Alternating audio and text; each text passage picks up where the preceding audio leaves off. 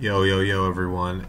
It is Sunday, June 18th, 2023. The time is uh, 11:31 New York local time.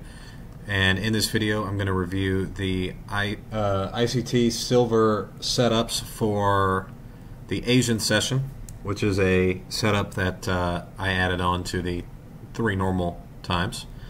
I'm going to review the uh, trades that I took during the ICT silver setup and then talk about the products that I'm going to be looking for for the ICT London silver bullet setups which are going to come in a few hours.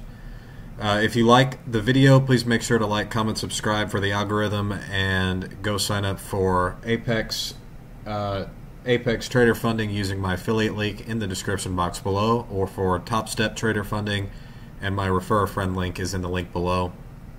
And so, with that, um, let's talk about the first trade that I took of the day, and that's going to be on copper. So, copper uh, was trading down coming into the Asian time frame. So, for my Asian silver bullet setup, I use uh, 2000 New York local time to 2100 New York local time. I'm looking for an inefficiency that formed during or prior to the setup time, and then I'm targeting liquidity on a higher time frame.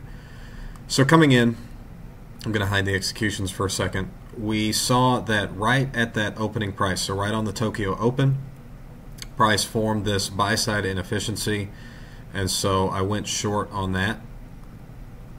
And as you can see, I immediately went into profit, and I could have taken the trade off here, to be honest with you, but I let it come back and it ran against me, so it ended up running quite a bit against me actually. And what price was doing at this point was coming in and, and filling our new week opening gap that we had here on the left. We had some inefficiencies up here. At that point, so on copper, I was aiming for this liquidity down lower, and it might still go down there, but as we're coming up on New York midnight, I know that the price is going to slow down, and we're coming into an order block here, so I'm just going to wait for the um, London, the London uh, silver uh, silver setup to to appear. I also took uh, a sell on silver that went into drawdown and then into profit. Again, with both of these things, I, I definitely could have taken the immediate profit, but oftentimes what you're going to find with these silver bullet setups is that it's going to want to come, go in your favor, and then retrace back, and then go and make the final move. Now, I might have gotten out of these trades a little bit early, but they were both profitable, so I'm not I'm not upset about it.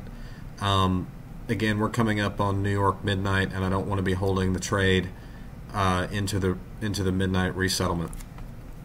Um, now let's talk about any pairs that I'm looking for going into the uh, London silver bullet time, which is going to be from 0300 to 0400 New York local time.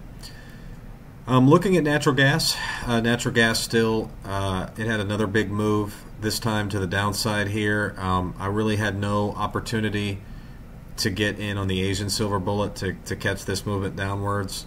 Uh, arguably, here there was an uh, buy side inefficiency, and then it just kind of pipped into it.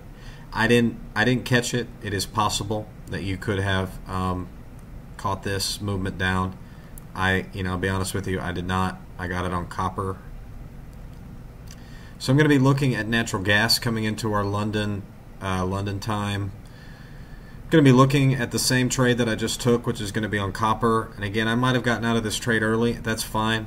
Um, I don't like the fact that we're co- again. I don't like the fact that we're coming up on New York midnight, which is a resettlement period, and I'll just wait until uh, until the London silver bullet, and you know we could end up get, drawing down much lower on copper. So I'm just going to be watching for that.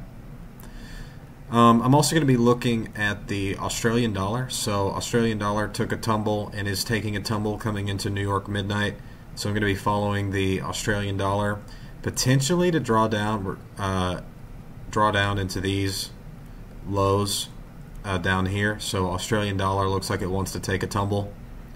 Um, crude oil, same thing. I think that crude oil could end up drawing down to this low and potentially uh, all the way down here. Now I'm not going to call for that just yet, but I am thinking that crude oil wants to come down to that 70 spot 22 uh, potentially during the London session. So I'm watching crude oil.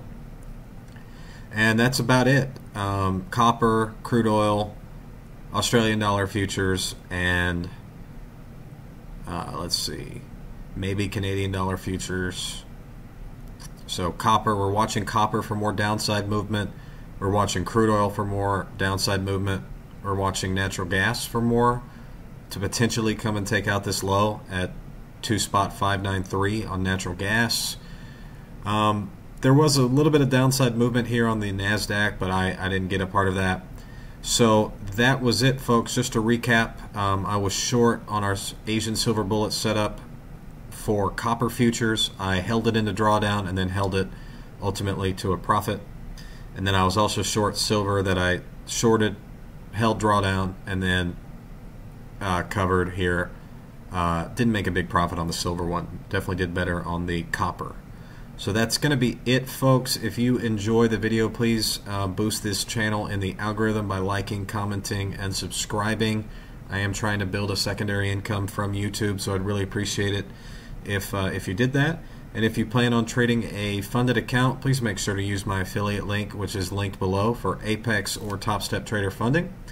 And that's going to be it for this one. I will probably be back with you uh, if I trade through London. Might get some sleep before then. And that's going to be it.